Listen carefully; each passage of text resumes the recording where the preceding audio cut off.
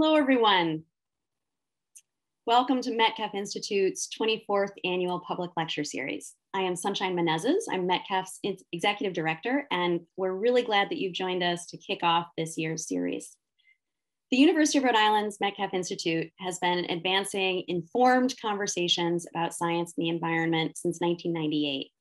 We approach this goal holistically, offering science training for professional journalists, communication training for scientists, and public events like this one. We also founded the Inclusive SciComm Symposium, which brings together researchers and practitioners from across the country to make science communication more inclusive and equitable. The next Inclusive SciComm Symposium will be held virtually this coming October, and we urge you to learn more about that by visiting the link in the chat. As I noted, this is our 24th annual public lecture series. We have traditionally offered this series in person at the University of Rhode Island, but that changed last year when we had to pivot all of our programming to a virtual setting. One silver lining of this experience is that we will continue to provide these lectures as a live stream in future years, even when we can safely gather together in person again. So keep your eyes open for that. We shaped this year's lecture series to focus on efforts to study and implement equitable climate change solutions. Climate change is already having starkly disproportionate impacts on low wealth communities and communities of color around the world. These inequities have inspired a range of innovative solutions that involve partnerships between communities, researchers, government agencies, nonprofits, and the public, the private sector. Over the course of this week, we'll hear from experts in science, journalism, and policy who are actively centering equity in their efforts to address climate change. Their specific solutions vary, including grassroots organizing, technology, applied research, and strategies for reporting on climate change. As ever, we expect that you will hear new and provocative ideas during this year's lectures. So without further ado, let's get started. The late President John F. Kennedy famously said that anyone who can solve the problems of water will be worthy of two Nobel Prizes, one for peace and one for science. This statement, made more than 60 years ago, is perhaps more applicable today than ever in a world where water scarcity is a growing threat due to drastic changes in our climate and increasing pollution. Per the theme of this week's lecture series, water availability and quality reflect one of the most longstanding and immediately pressing environmental justice concerns. The effects of changes in our water supply are disproportionately affecting already marginalized communities. To solve this multifaceted problem, we must consider creative policies and actions to ensure sustainable and just access to our most essential resource. Today, we are grateful to gain new insights on these issues from an international authority in urban water management, Dr. Newsha Ajami, Director of Urban Water Policy and a Senior Research Associate at the Stanford University Woods Institute for the Environment. As an interdisciplinary hydrologist, and a widely recognized leader in water research, she specializes in sustainable water resource management, water policy, the water energy food nexus, which we'll hear more about today, and developing techniques to address the uncertainties involved in water management. Dr. Ajami aims to improve relationships between scientists, stakeholders, and policymakers by emphasizing interdisciplinary and impact driven research to identify solutions to the problems we face in urban water management along with a long list of publications, contributions, contributions to major media outlets, and teaching appointments, Dr. Ajami is committed to engaging in local, regional, and national efforts to improve water management. To this end, she has served on national advisory boards with the National Research Council and the National Academy's Board on Water Science and Technology, and she's a gubernatorial appointee to the Bay Area Regional Water Quality Control Board in California.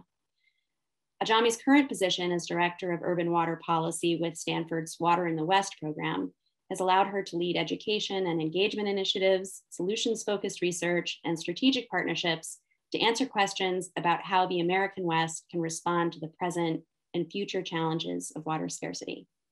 Today, Dr. Ajami will give us a small snapshot of her work and some ideas for how to equitably approach the intersections of water scarcity, food, and energy very pleased to hand the mic over to Dr. Newsha Ajami. Thank you so much, Sunshine. It's uh, such pleasure to be here. I'm gonna share my screen. Perfect, there we go. Uh, it is truly a pleasure to be here. I'm uh, really excited about this lecture series and uh, lots of great talks coming for the rest of the week. Hopefully, I can start off this discussion on some interesting and some concerning issues around how we approach water management. Um, today, I'm going to talk about the trade offs across the water energy food nexus uh, and uh, in more details, we'll discuss the triple bottom line sustainability assessment that we developed to understand the impact of desalination in the San Quintin Valley in Mexico. Okay, let's see. Oh, perfect. Okay. Just for those of you who might not be familiar with the location, uh, basically Baja California region is connected to the uh, the the south the southern part of California into Mexico and there uh, and a lot of the agricultural activity in Mexico happens there. Um, the area we focused on for this specific study was the San Quintin Valley, which actually includes uh, sort of overlays four different aquifers and, um, and grows a lot of different uh, agricultural products that some of them actually ends up in our plates in the US. There's so many agribusinesses that actually have, um, um, that are sort of um, housed in the US, but they grow their products there, including berries, um, tomatoes, onions, cucumbers, just name it. And um, and this region actually has been sort of uh, part of this process since the 30s. There was agricultural practices there by the 1970s um, because of the interest in exporting their products. Uh, there was a lot of focus in this region uh, the earlier time, uh, the agricultural activities uh, were not as much um, uh, fruitful because of the because of lack of water and also uh, poor quality of the soil.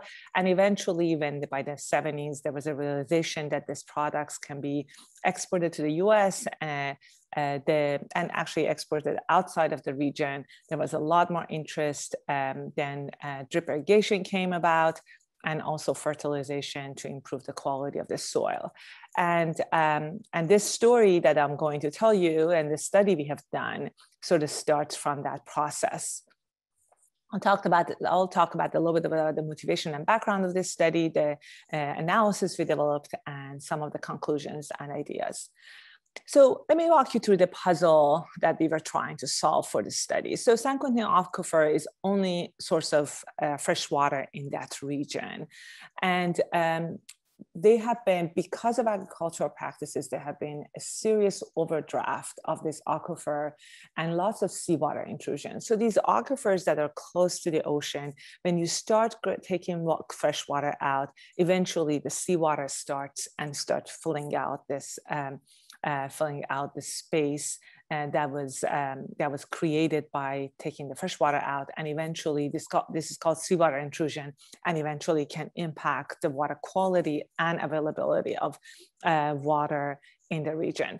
Um, basically there's about because of this salty water and seawater intrusion about 54 privately owned desalination plants has been built between 1998 and 2016 by agribusinesses. Basically, they have built these desalination plants in their farms to deal with the, uh, with the salty water since they can grow these crops with salty water.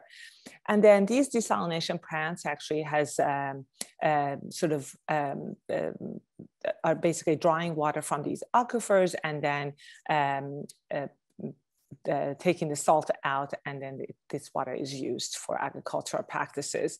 And there is no actual um, the groundwater recharge activity happening there um, or any other environmental concern about how this kind of uh, overdraft of aquifer can impact the people and the environment over time.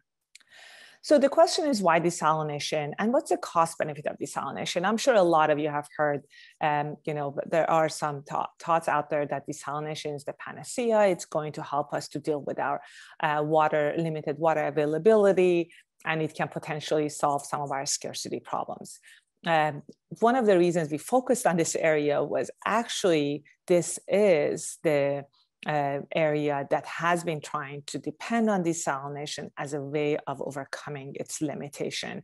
And some of the social, economic, and environmental impact of this practice is quite obvious and has already been sort of causing a lot of issues. So uh, we thought this region is sort of like a, uh, can spotlight some of the things that we have to pay attention to, and also the reality of what's what what kind of a technological focus can potentially help us in the long run, or can actually hurt us in the long run. So the triple bottom line um, as you see, this is a beautiful picture of the San Quintin Valley and um, uh, the greenhouses um, that um, um that are being used to uh, to grow uh, produce. Um, the triple bottom line analysis we did focused on environmental sustainability, economic sustainability, and social sustainability. Um, so uh, we used uh, we sort of mismatched bunch of uh, data sources to do this study. Obviously, it's not easy. So this is a very complex study. Um, we had to sort of rely on a lot of publicly available data and also some secondary, some other secondary data that were available in from uh, that they're available to some of our co-authors uh, in this paper that were not necessarily public uh, from well permits to socio some socio-demographic uh, census data, some of the ethnographic research that has been already done. So we, we did a lot of literature search to get data out, agricultural production and pricing data that was available um, uh, uh, mm, to some of our authors and hydrologic surveys, electric electricity grid and emission data, some of the wage and employment statistics and also some of the infra infrastructure documentation for us to be on to better understand the desalination projects uh, and some of the environmental impact reports that has been done and what were the sort of like um, uh, foresight of how they would impact um, the region. Um, we also actually collected some, we surveyed um, the operators or some of the owners of these 54 um, 54 well, uh, sorry, desalination plants that uh, we focused on. Uh, we developed a survey. Uh, we uh, collaborated with one of the universities in Baja California, and we sent a um, number of students down there to collect the data for us uh, after a visit by um, by our research uh, uh, staff who were actually the Gemma Smith, who was actually doing their actual work.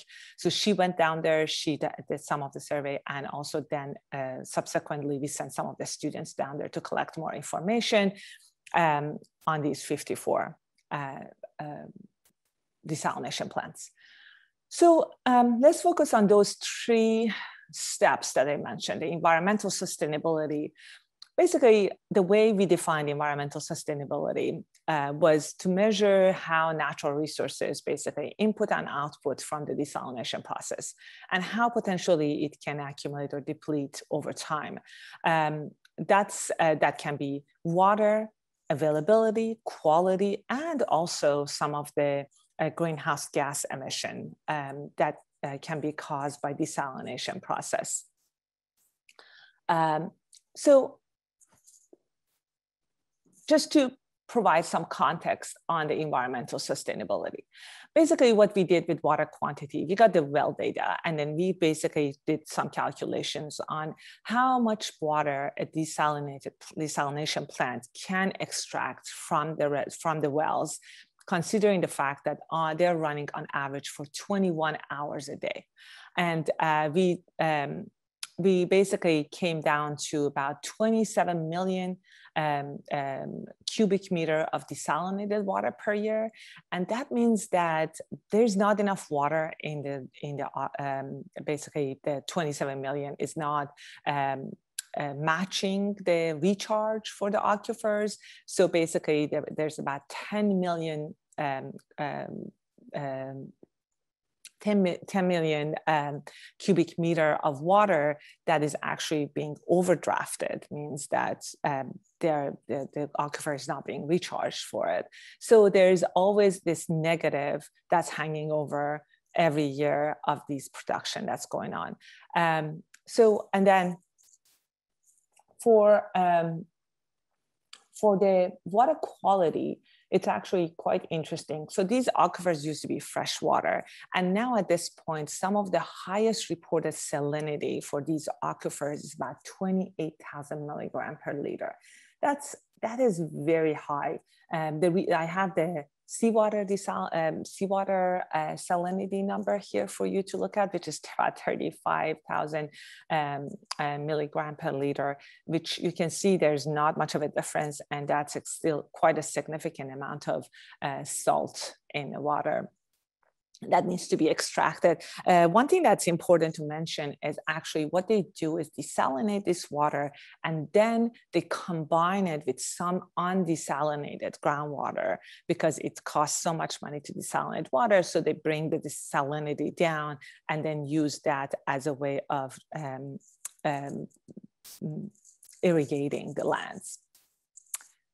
So on the greenhouse gas emission part, we sort of uh, the they um, um, the, the numbers are between 31,000 to 78,000 tons of um, CO2 uh, per year, which is um, uh, quite significant if you uh, think about it. And um, one of the reasons this has been sort of going on for such a long time, and you might ask, how is it possible that um, they are using so much uh, energy, this, um, uh, you know, emits so much CO2 and impact having so much impact on water and the reason is there is a tariff on electricity for these agribusinesses. So the cost of electricity for them is quite insignificant. And um, at this point, is very, it's a very small amount of their, um, the cost of their um, um, their revenue process one to two percent, and that's why it makes it uh, it justifies the action of doing desalination for for irrigation. Um, this number is quite more significant other places. Electricity uh, is biggest part of the desalination cost of desalination process. Okay, so the next part of the sustainability at the trip and bottom line study was the economic sustainability. Uh, the economic sustainability is basically the way we calculate this was measurement of financial input and output from the desalination process. Basically, sources of funding and the distribution of economic benefits. Now, the most important part of this is, remember, there is a, there are two groups that are involved in uh, Baja California there is the uh, the agribusinesses that are basically gaining economic um, benefits from this process. They're uh, they're depleting these groundwaters, using a lot of electricity, um, producing agricultural products, and then sending it uh, as an export to other countries, especially U.S., uh, to use it. And then there's also the um, the farm workers that are there and they actually the economic benefit to them is quite different in this process because they get paid a specific amount of you know average um, daily rate and um, they just recently had a um, um, just as a side note, um, the, the strike and they uh, managed to increase their daily rate, but still the daily um, um, sort of hourly rates for their um, labor, and uh, these laborers now like gain a little bit more, but still quite uh, subpar to um, the economic gains from the agricultural products, agricultural practices. Okay, so hold on. Okay, so let's talk about economic sustainability. Basically, the private, which means the agribusiness, the cost of cost of um, uh, service is about 23 million for the capital cost of building a desalination plant or all those desalination plants. And the benefit and the cost of um, uh, building a desalination plant. Okay so actually i'm going to put a pause here for one second. Um, the labor community that is in the Baja California region in the San Quintin Valley, they basically they used to be these temporary laborers that would come in and do the work and then move uh, back uh, during the low season and then come back again during the high season. Now these agribusinesses are running all year long, uh, most of the day, actually, as I said, 21 hours of running the desalination plant. So these are like long hours. And um, there are permanent population of these um, agricultural workers in the area. And uh, these people actually, unfortunately, have no access to um, um, sanitation. Some of them do not even have the piped water, and, and that's a big problem. And the water that comes out of the taps are not necessarily that clean. And the cost of, um, and some of them have to buy water from the tr- uh, trucks that comes through uh, or tankers that come through um, to be able to drink and use it for their essential needs, um, which is still below the, um, the, the amount of water that's required for per person per day based on United Nations. They basically have to buy about 30 gallon 30 gallon per person per day. I mean, sorry, the amount that they buy a month would average on 30 gallon per person per day. The, av- the average for based on United Nations for essential needs about 50 to 100 gallon per person per day. So this cost of getting water from the tankers is quite high um, for these communities that are on, uh, on an hourly rate. Um, there is a discussion about building a desalination plant for, the, for these communities. The cost, the capital cost of building that desalination plant for the public um, uh, or the laborers for the region is about $48 million. And that is quite significant because um, um, currently without accounting for that extra cost for infrastructure of 48 million um, uh, these people are paying between 2 to 5 percent of their income um, for access to access water and um, again based on united nations um, estimate, that number should not increase more than 3% of uh, one's income. And um, if these desalination plants uh, gets built for these public, um, uh, for the public uh, consumption, that is going to impact the water rates in the region, which can be quite significant. Okay, so agricultural revenue, um, it's about 142 million uh, annually um, and then um, the basically average daily wage for these um, um, for these laborers is about seven to nine dollars per day, PD paid per day. Um, so think about like the cost of providing um, you know, access to water for these two groups, the private agribusiness public, and the revenue and the benefits they're achieving from this process. The third part of this is the social sustainability piece. Um, the basically how we can meet the social needs of basically access to employment, access to water, and making sure um, these are met, or actually are they being undermined because of the way we we uh, work.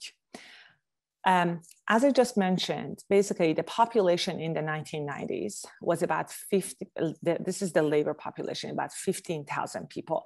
That population has grown to by 2010 to 42,000. And these are, again, these 42,000 is permanent um, uh, population now. The laborers have moved to the region and they're staying there um, with their families. Um, there is, uh, uh, you know, and they lack actually, as I said, access to water, sanitation, education.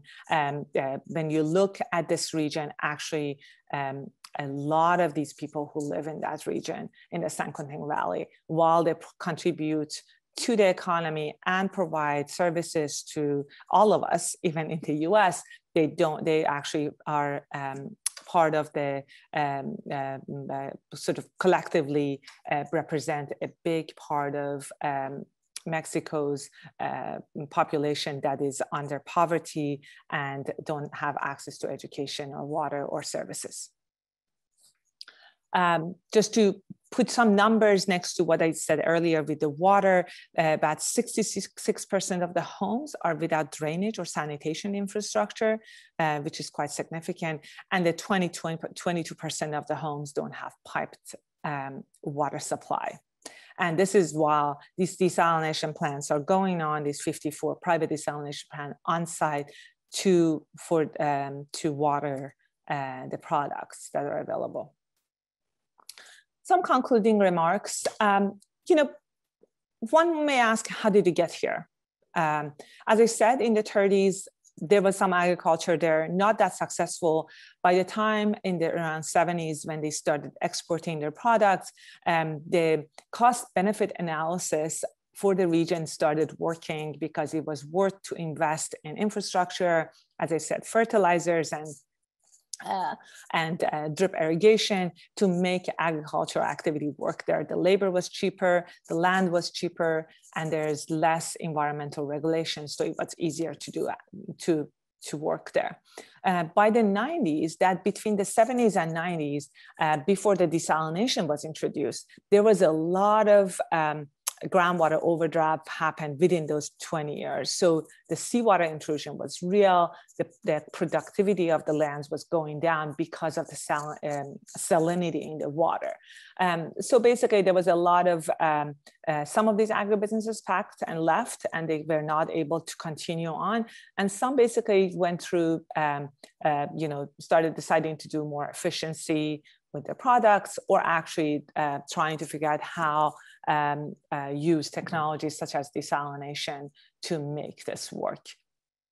As um, um, as, as I mentioned, uh, as, again, um, as you can see the um, the red here, these are the social issues. Um, uh, you can see that, you know, the, um, we started getting a lack of uh, um, uh, water um, access to water and clean uh, water. And also, uh, one might say, so why desalination? Why not wastewater reuse or some kind of reuse activity? There was lack of technical capacity and also um, uh, if you remember, I said 66% of the region doesn't have access to drainage. And also the agricultural uh, process is not necessarily collecting a lot of drainage. So lack of wastewater supplies uh, limited some of the efforts around um, wastewater reuse. Um, again, the desalination process, um, and also as you as I mentioned, the um, the laborers actually moved to the region permanently, and the public-private partnerships actually started being helpful to provide financial resources for and technical capacity um, to build some desalination solution solutions. But again, the problem is um, it's not necessarily um, cost effective considering the consumer of that good when it comes to desalination for the population, uh, for the laborers population. On the private, private desalination plants, basically uh, one would say, how could 54 individual desalination plants could go in play in place um, so easily and be operating 21 hours a day to for agricultural practices and it, and they do actually have the environmental impact um, process. However, it's very, very easy to get a permit and get the environmental impact um, report done and obtained. Also, as I mentioned earlier, the, there's the electricity tariff that subsidizes, subsidizes cost of energy, which means that these people can uh, access a lot of energy in low cost. And also there's not much of a problem with um, uh, there's no cost associated with the environmental impact of anything that's going on in these agricultural farms um, and uh, and within their practices. So it's very easy for them to continue on. Um, sustainability outcomes and feedback loops are very very important. The reason again, this was the way we try to build this is it is sort of like a macro macrocosm of um, water, energy, food sort of touching at the same points, right? So desalination, agricultural production, water use, and it's constantly feeding back. When you're thinking about the environmental issue, aquifer depletion and degradation, and high CO2 emissions, having a lot of environmental impact. That is also leading to social impacts because, because of the aquifer depletion and this uh, degradation of the water quality, the people who live in that region cannot access wa- high quality water for their drinking, so po- the population doesn't have access to clean water, and um, also the population growth because of the actions of the con- economic benefits have been have increased the demand for water while they don't have it. And um, then also the economic piece of it is, you know, obviously agricultural industry um, has expanded its footprint in the region, and uh, and that expansion has been fueled by desalination activities, which is providing short-term solution um, to the problem and some long-term environmental impacts that are not being accounted for right now. And uh, basically also this creation of low-wage agricultural jobs is feeding into some of the some more social um, uh, issues and injustice in the process, and then also feeding into the environmental footprints. So um, um, what we can see here is this sort of like a, um, a, the feedback process that is going from environment to economics, uh, from going from economics to environment to social, and it keep going around and around. And um, it is interesting to also see that um, when it comes to the agricultural activities, there is enough money in the process, it still is, is beneficial for them to have these desalination uh, well, um, uh, technologies to be installed. Um, obviously, there is um, uh, the net um, profit from the process is still um, is significant enough for them to be able to justify the fact that they're desalinating groundwater. However, at the same time, the population that's fueling that process or helping to make it happen do not does not have access to um, to public infrastructure in, a, um, in an equitable way. Um, just to wrap it up, um, basically just some policy thoughts as we move forward. And it's again, while we focused on the San Quintin, I'm going to re-emphasize the fact that this is again is just one glimpse at what can happen in so many other regions. Water scarcity is real, and with climate change, we are going to see more and more challenges with access to water or water availability. So every action that we are taking today can have long-term and lingering consequ environmental consequences and social consequences at the same time. So uh, we have to acknowledge and plan for potentials for desalination to identify basically these agricultural products and uh, basically the fact that it's driving this labor demand and labor-based migration because how long more can we continue on desalinating water and is this intensified agriculture uh, or activities um, are not necessarily sustainable in the long term. Um, actively, but uh, we have to actively consider trade-offs across the water, food, energy nexus. We can't just look at one and try to focus on one because it, it you know, for example, this area has been trying to deal with water availability as one only highlighted issue. However, it's having both energy impacts, food impacts, and social impacts at the same time.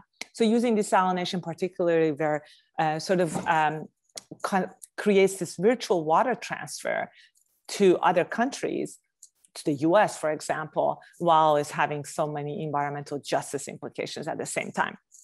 And then uh, practice integrated, basically, we have to practice more integrated water and energy resource planning process. For example, um, you know, the, um, the easily accessed environmental um, uh, review process or the fact that people can dig more wells, the fact that they can desalinate as much water as they want, the fact that energy is, um, is so cheap and uh, easily um, um, you know, accessible through the grid uh, for such low price. Uh, these are all having some local and um, uh, issues and causing some local issues and long-term lingering issues. So uh, creating more better transparency, helping understand how trade policies are impacting these activities, all are very important. Therefore, it's really, really, again, very important to have across the board policies that water that thinks about energy, energy that thinks about water, food that thinks about both energy and water, and sort of moving beyond these short-term benefits for long-term impacts. And with that, I just want to acknowledge my um, co-authors, which I had their name at the beginning of this um, uh, presentation. And this was a labor of love. A lot of work went into it. The whole um, survey process was uh, was quite intensive and was very difficult to do. Uh, you can imagine a lot of that. Um, people were not that enthusiastic to talk to us. So uh, we had to, as I said, collect tons of publicly available water, privately available water, and the survey, and sort of putting all these pieces of puzzle together. So a, a lot of work, and I want to acknowledge my co-authors, especially Gemma Smith, who put a lot of time into this.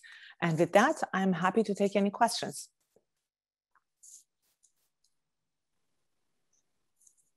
Thank you, Newsha. Um, we really appreciate you sharing this very complicated story with us. um, so we have some questions, of sure. course, that are coming through the chat right now. But I'd like to start with kind of a, um, a big picture uh, question, which is, um, are there, so this is so complicated, right? So are there models that you know of where um, people, communities, groups, regions are addressing water quality in ways that actually achieves the, the goals of the triple bottom line approach? That's a great question. So, unfortunately, the one of the biggest problems we are facing in this is the is the fact that anytime you put a lot of if there is no consistent regulation across different borders across different regions what you see is if you put more stricter water quality uh, restrictions we have some in California, for example. Um, people can pack their bags and go and start doing things other places. If you have, caught, you know, very specific labor laws, the same thing. So it's some of one one way to sort of deal with this is actually through these trade um, policies that we put in place because they in a way they help to um, highlight the importance of wherever whatever footprint we are having in other regions.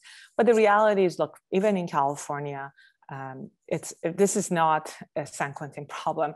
Even in california we, our labor community um, that works in agriculture, a lot of them do not have access to clean water due to um, um, you know uh, polluted wells or you know some of the issues around um, various agricultural activities, and some of them actually because of groundwater overdraft, their wells have gone dry. So um, so it is not a San Quintin problem. And I didn't, uh, one of the reasons I emphasized this at the beginning too, we are not trying to say, oh my God, this is happening there because that's what's bad. But the reality is you can actually take that spotlight and put it in other regions and find other problems. So um, the reality is we have to be better at the way we use our resources and be more mindful and um, and source i always say source protection is the first step to having access to clean water and that's key here so thank you. So that brings me to a much more technical question, actually, um, sure. which is which uh, Audrey asked, and that is, how is water desalinated? What this is a question I've wondered for a long time. Yes. So basically, depends. There are different models that you can desalinate water. Generally speaking, you basically pull the water out, push it through membranes. So think about a cloth okay just just to give you a simple way.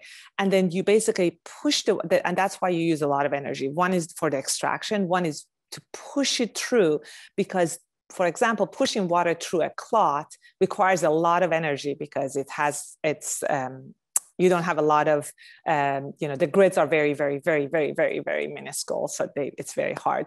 So then by the time the water comes out the other side of your membrane which which is sort of like the in this story is a cloth um, it basically all those um, things like from salt to other minerals to anything that was in the water it sort of gets stays behind and the, that what comes out is basically water with nothing in it. Um, it's basically h2o h2o um, so um, th- this process is very costly. There's another way basically it's um, using heat uh, which is something probably all of us have learned in our um, you know grade school physics. You basically um, heat up the water they it turns into uh, vapor and then you condensate it and that water that comes down the other side it doesn't you know all the everything is left behind through the condensation process. Um, these are two ways of desalinating um, water. There, there are a couple more but these like the major ones that you hear about is the we call that reverse osmosis the one that's going through the membrane and um, and the, the other one that's through heat is thermal desalination. Um, so yeah. Well and bonnie had a, a, follow-up question to that which is what happens um, in the reverse osmosis version? What happens to all the the brine or whatever it is that's, that's left over? Where does that go? Yes Great question. Um, depends. Uh, sometimes you have regulations, sometimes you don't. Uh, some uh, in some areas they actually re-inject it back to the groundwater, or they actually uh, dump it out in the ocean. Uh, sometimes there are evaporation ponds that they put this brine in them, and they have to and let it evaporate. So basically, the minerals and everything that was in the water stays behind, and the water evaporates. So basically, you create a area that's um, uh, with the brine deposit. Um, depending on what regulations we have, different one of these practices are being uh, exercised. So for example, um, in California, what happens to the brine is then you have to take more water to mix it with the brine to be able to put it back in the environment. And the way you put it back in the environment is you have to actually have these diffusers that goes deep in the ocean and spread these brine, sort of mixed up dry, brine, diffuse it to make sure you're not having some aquatic impacts. Now, this is in California. We have a lot stringent uh, um, uh, environmental regulations. Some regions don't have as much of a, you know, strict environmental regulations, so they can just dump it out. So it, it just depends where you are. But absolutely true that the product that leaves behind, that's left behind, is by itself is a problem. Well, and I, I'm I am also now understanding that the energy use is like it's on both ends of of this solution, yes. right? So, yes, absolutely. It's every part of this process, wow. which is crazy. And also, Another crazy thing is remember those membranes I mentioned to you? They have to be washed to get all, everything out because they are so dense. If you don't wash them, they get clogged, right? So that process uses water too.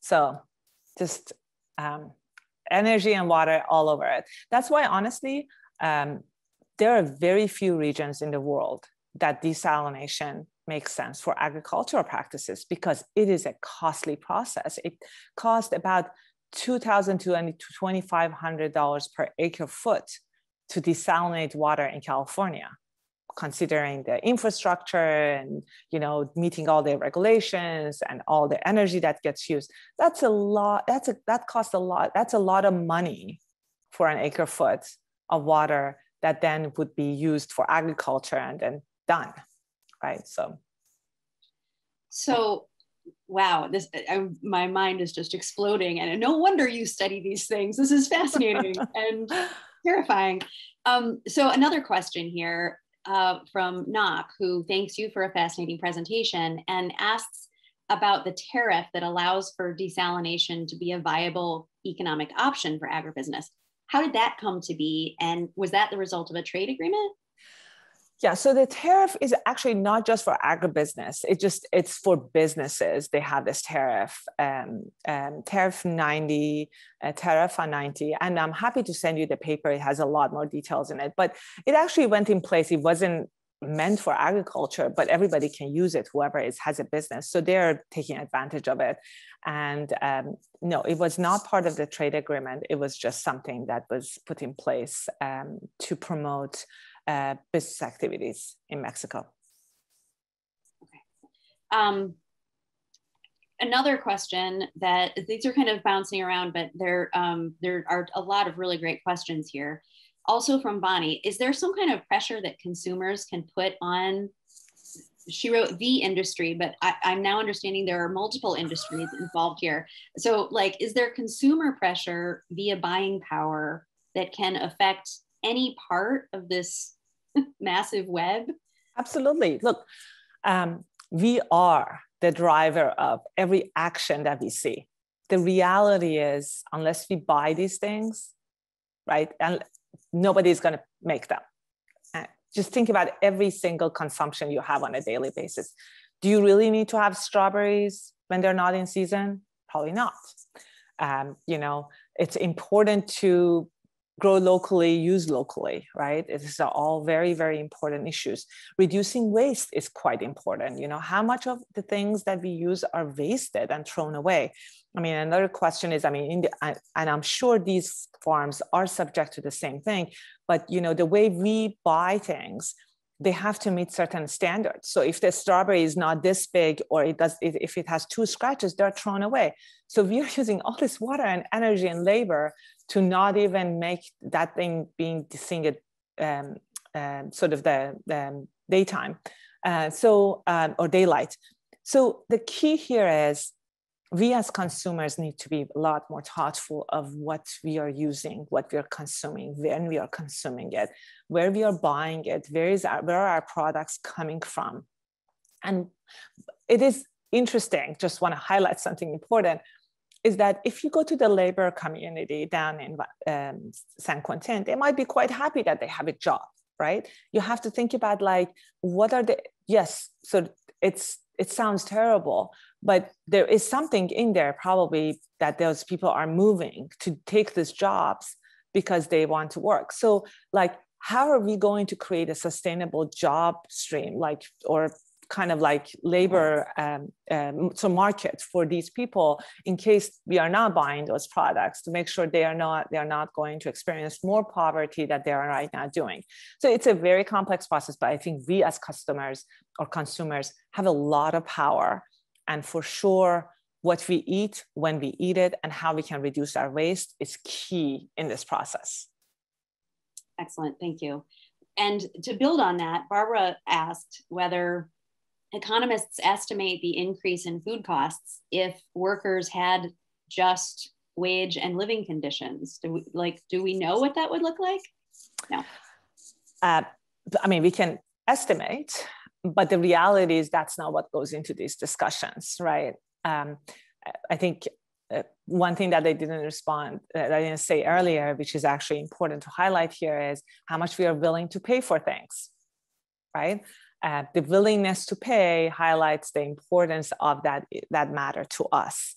And uh, if we are constantly buying cheap things, obviously the agribusiness are not, is not going to cut their uh, profit margin. And then eventually the, um, the consumers, the laborers are not going to benefit from that. So it's a, um, we don't really account for social and environmental impacts within our, our cost benefit analysis, right? When it comes to desalination, the cost benefit analysis is every unit of desal is producing this many, this many pounds of this product.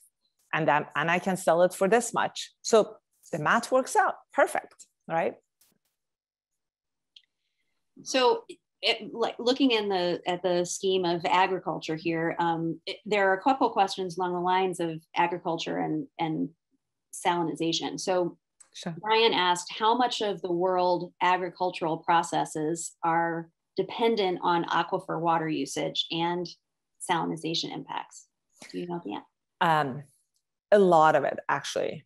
Um, especially in dry areas, a significant amount of agriculture depends on um, groundwater.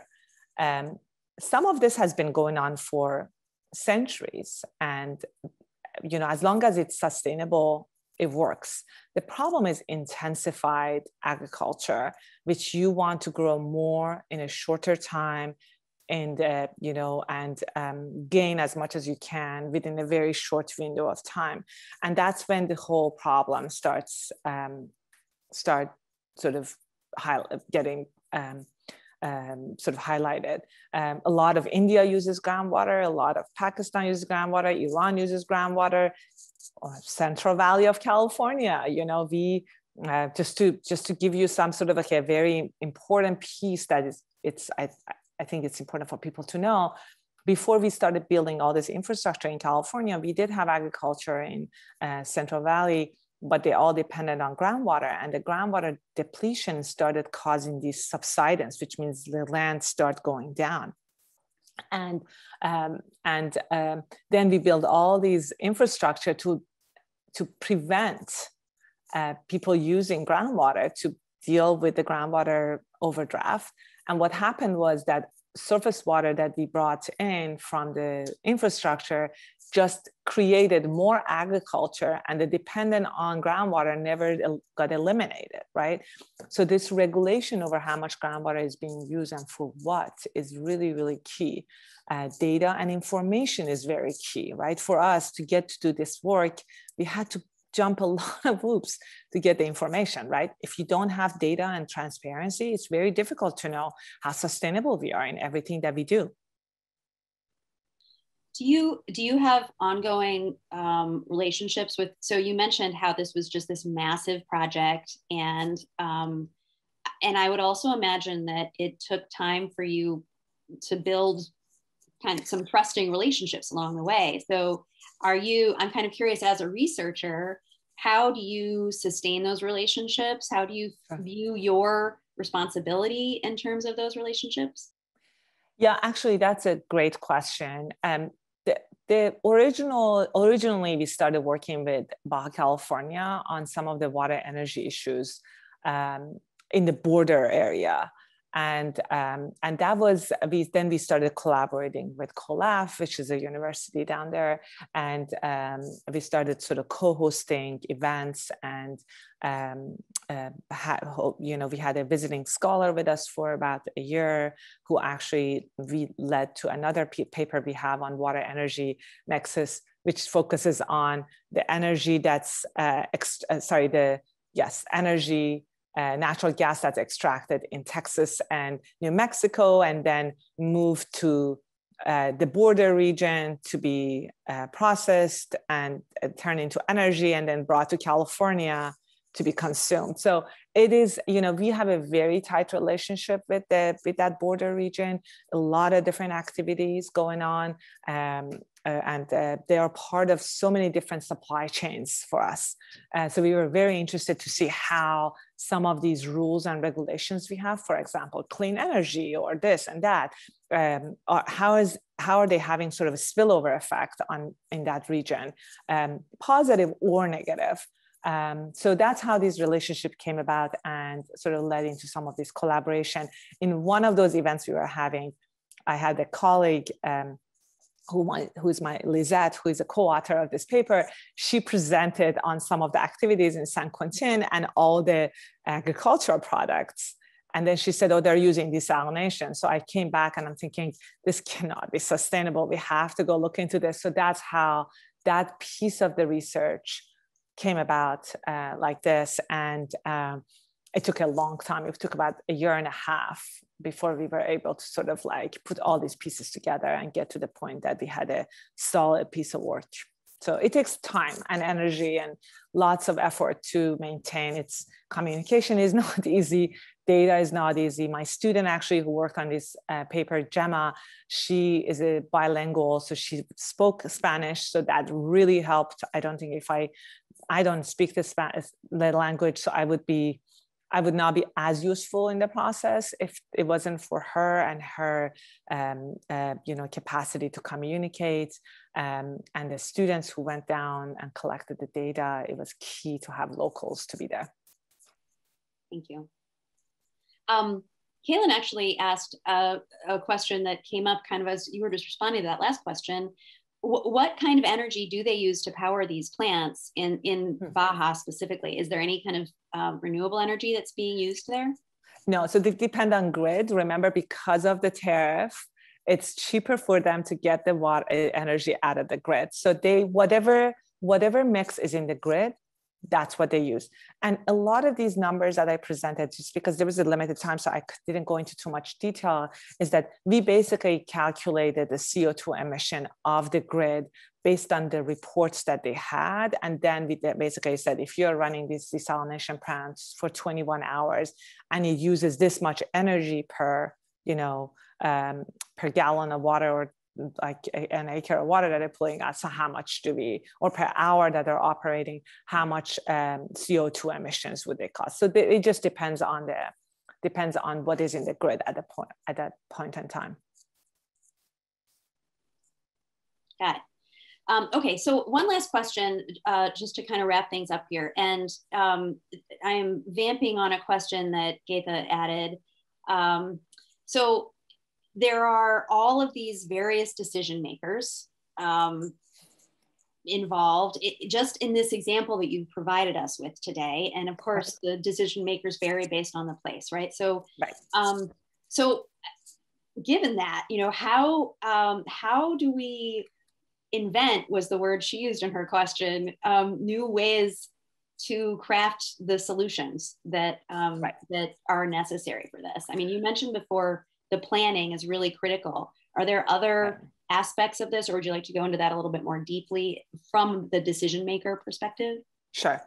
Look, I think the problem we are facing is that we have these silos. We have silos that deal with water supply, silos that deal with water quality, silos that deal with energy uh, or trade, right? And they don't necessarily talk to each other. There's no my my sole job is to focus on quantity of water. So i don't care what happens in the energy because that's not my job to think about right? So and and one of the things we wanted to demonstrate through this process is actually it is because whatever decision is made in the energy sector eventually has a spillover effect in the water sector or whatever decision we make in the food sector ultimately will impact water and energy. And we have talked about this a lot in California, but this is also another demonstration. You know, we often don't have la- good land use laws or regulations. Um, people, you know, they buy a land, they start growing things. We don't tell them what they can grow and what is sustainable for them to grow. We don't think about water and energy when it comes to that, right?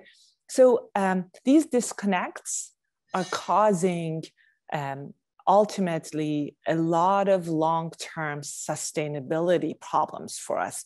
And again, while I didn't touch on climate change here, it is very much of a present problem because it is causing a lot of other problems right? It's hotter so we have to water these plants more. They um, you know the evaporation or evapotranspiration is higher or people need so it's just like it is a constant issue. So we have to think about i think one of the demonstrations we had here is like the policies cannot be one singular policy we have to think across sectors we have to collaborate across sector and we have to have integrated decision making process and for example one way to do it as I mentioned earlier, is true for, for through the trade process, right? You can say we have certain water and energy regulations that we would like everybody to follow if we are going to have this trade, right? Um, or you know, taxing um, environmental impacts, right, um, across the board. Um, in a way, making people think about, okay, what is it that they're doing and how it's impacting it. One last thing I would say is um, we often, when we, th- we talk about energy and dealing with climate change, we often think about energy and technologies that would capture CO2, do this, do that, do this, then we can do whatever we want the same way that we have done it for a long, long time. But the reality is, water in so many different ways is, is an integral part of what's happening in climate change and energy because we every source of water that we look at is much more energy intensive than the other one that we had before. So we have to be very mindful of how certain decisions we are making is impacting our CO2 emission and, um, and the uh, environmental footprints. That is a, a very good note for us to end on today. So thank you so much, Dr. Newsha Ajami, for sharing your time with us and, uh, and your, your work.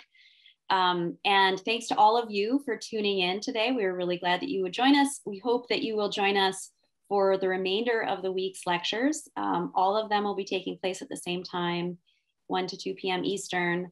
Um, you can register at metcalfinstitute.org if you haven't already. And we look forward to hearing a lot more really um, important ideas this week. Until then, thank you again, Dr. Ajami, and have a lovely afternoon, everyone. Thank you so much. It was wonderful.